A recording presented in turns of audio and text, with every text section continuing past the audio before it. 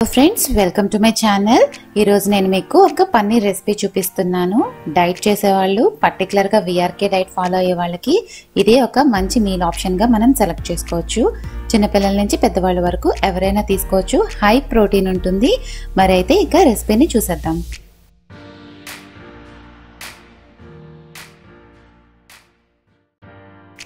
ముందుగా నేను ఒక టూ హండ్రెడ్ గ్రామ్స్ పన్నీర్ తీసుకుంటున్నాను. విఆర్కే డైట్ చేసే వాళ్ళైతే రోజుకి ఒక హండ్రెడ్ గ్రామ్స్ తీసుకోవాలి కాబట్టి ఇది టూ పర్సన్స్కి సరిపోతుంది. సో ఇప్పుడు నేను పన్నీర్ అంతటినీ కూడా చిన్న చిన్న క్యూబ్స్ లాగా పీసెస్ లాగా కట్ చేసుకుంటున్నాను. ఇంట్లో తయారు చేసుకున్న పన్నీర్ కానీ బయట స్టోర్స్లో కొనుక్కున్న పన్నీర్ కానీ ఏదైనా కూడా మనం యూస్ చేసుకోవచ్చు.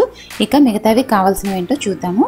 ఇప్పుడు చిన్నగా కట్ చేసుకున్న క్యాప్సికమ్ ముక్కలు పెటల్స్ లాగా కట్ చేసుకున్న ఆనియన్ సన్నగా కట్ చేసుకున్న పచ్చిమిరపకాయ ముక్కలు కావాలి. మనం కారానికి తగినట్లుగా పచ్చిమిరపకాయలని వాడుకోవచ్చు.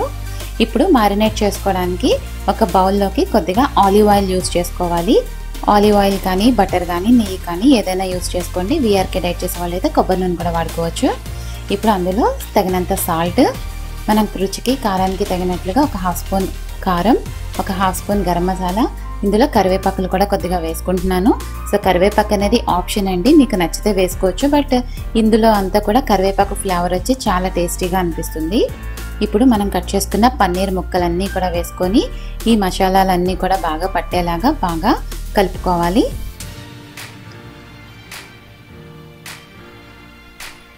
అంతా కూడా బాగా కలిసిన తర్వాత మనం కట్ చేసుకున్న వెజిటేబుల్స్ అన్నీ యాడ్ చేసుకోవాలి. క్యాప్సికమ్ ముక్కలు ఉల్లిపాయ ముక్కలు పచ్చిమిరపకాయ ముక్కలు అన్నీ కూడా ఇందులో యాడ్ చేసుకోవాలి.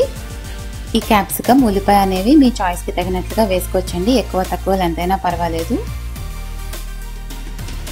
ఇవన్నీ కూడా బాగా కలిసేలాగా ఒకసారి మొత్తం అంతా కూడా కలుపుకోవాలి.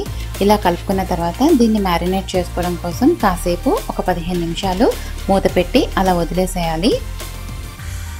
ఒక పదిహేను నిమిషాల తర్వాత ఒక ముగ్గురు పెట్టుకొని అందులో ఒక స్పూన్ నెయ్యి యాడ్ చేసుకొని కొద్దిగా అల్లం వెల్లుల్లి పేస్ట్ యాడ్ చేసుకొని ఒక్కసారి వేగనివ్వాలి. అల్లం వెల్లుల్లి పేస్ట్ ఇక్కడ వేసుకున్నా పర్వాలేదు లేదా మ్యారినేట్ చేసినప్పుడు వేసినా కూడా పర్వాలేదండి. ఇప్పుడు అది కొంచెం అల్లం వెల్లుల్లి పేస్ట్ కొంచెం వేగిన తర్వాత మనం మ్యారినేట్ చేసుకున్న పన్నీర్ ముక్కలన్నీ కూడా ఇందులో వేసుకొని కాసేపు బాగా కలుపుకుంటూ ఫ్రై చేసుకోవాలి. ఆ తర్వాత కాసేపు మూత పెట్టి ఒక పదిహేను నిమిషాల వరకు ఉడకనిస్తే మనకి కంప్లీట్గా మనకి పన్నీర్ అనేది రెడీ అయిపోతుంది.